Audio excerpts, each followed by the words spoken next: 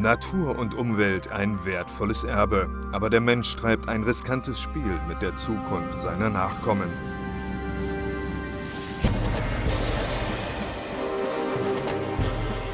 Viele Menschen lebten im scheinbar sicheren Glauben, Atomkraft sei beherrschbar, bis zum März 2011. Das Undenkbare, das Unmögliche, das Unfassbare war plötzlich erschreckende Realität. Fukushima, der Auslöser auch für die umweltpolitische Wende in Deutschland. Merkel zog die Notbremse, das Aus für die Atomkraft. Das Atomgesetz wird novelliert. Damit wird bis 2022 die Nutzung der Kernenergie in Deutschland beendet. Und unsere Devise heißt, Unternehmen genauso wie Bürgerinnen und Bürger in Deutschland müssten auch in Zukunft mit bezahlbarem Strom versorgt werden. Deshalb wollen wir die erneuerbaren Energien schneller zur Marktreife führen und effizienter gestalten. Effizienter gestalten? Deutschlands Weg zur Energie der Zukunft soll also grün sein. Eine tolle Vision, doch vorerst explodieren die Energiekosten. Darunter leidet vor allem auch die deutsche Industrie. Wir stehen im internationalen Wettbewerb. Unsere Güter sind hochpreisig, sie sind zwar innovativ und wir, wir stehen natürlich im Wettbewerb mit Staaten, deren Energie und Strompreise um 20 bis 40 Prozent unter denen unserer Unternehmen liegen. Der Energieexperte Lorenz Jarras analysiert und bewertet seit 30 Jahren das System der Energieversorgung in Deutschland. Er weiß, worauf es jetzt in erster Linie ganz dringend ankommt. Das oberste Gebot ist, dass wir weiterhin eine gesicherte Stromversorgung haben. Was wir nicht wollen, ist, dass es immer wieder zu Blackouts, zu Stromstörungen kommt. Das ist das oberste Gebot. Die Stromversorgung sichern. Aber wie? Die Notausgänge aus der aktuellen Energiekrise heißen Windkraft und Solaranlagen. So denkt die Politik. Sinnvolle Alternativen wie Kraft-Wärme-Kopplung werden noch stiefmütterlich behandelt. Gerade sie wären hilfreich. Wir müssen den Netzumbau realisieren, der für die angemessene Integration der erneuerbaren Energien erforderlich ist. Und das fordern auch Wirtschaftsverbände. Sie fürchten gravierende Produktionsausfälle, falls die Netze noch öfter zusammenbrechen. Wolfgang Wolf ist Industriechef im für Deutschland so wichtigen Standort Baden-Württemberg. Vor allem im Süden drohen Probleme mit der Energieversorgung.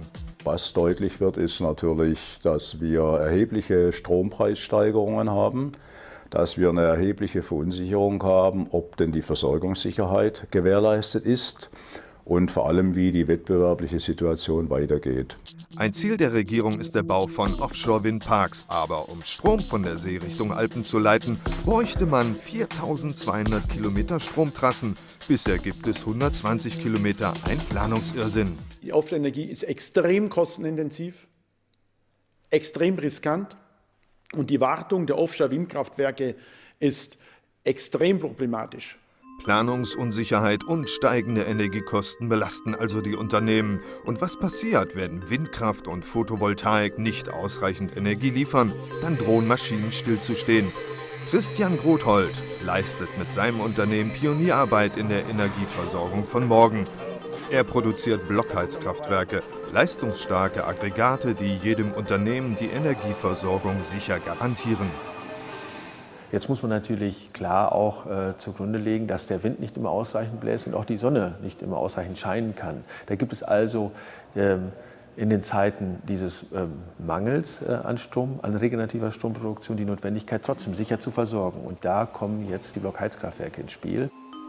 Blockheizkraftwerke, auch Energiebedarfswerke genannt, können Strom und Wärme produzieren und sie sind überall einsetzbar.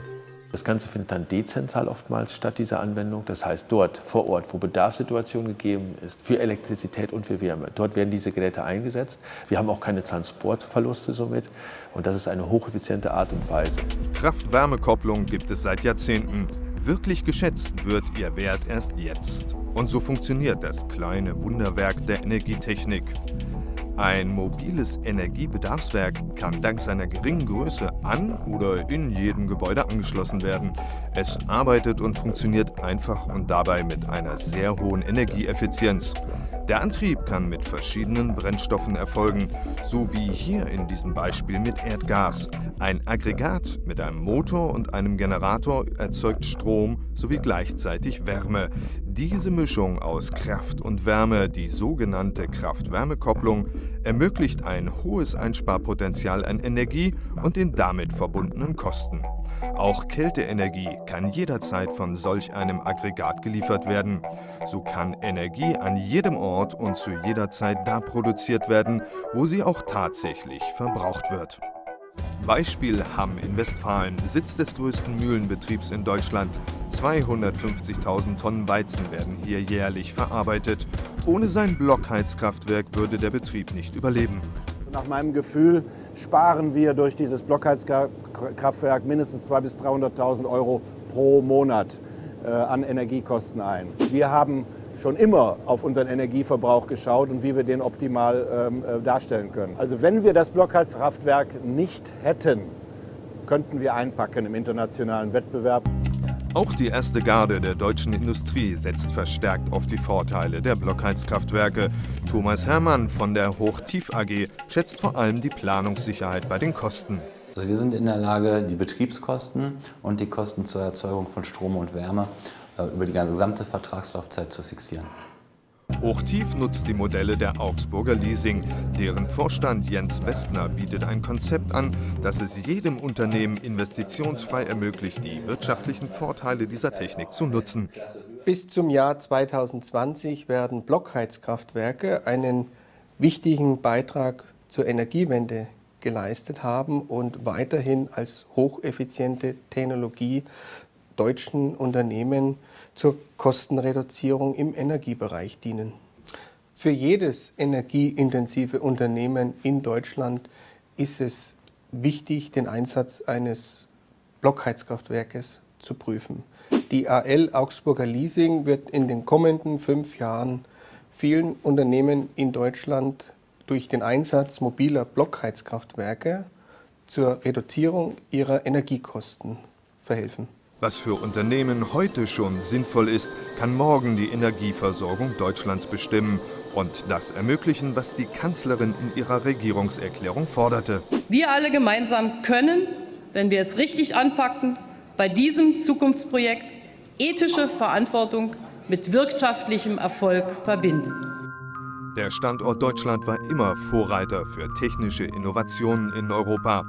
Energiebedarfswerke und Kraft-Wärme-Kopplung der beste Weg für die Energie der Zukunft.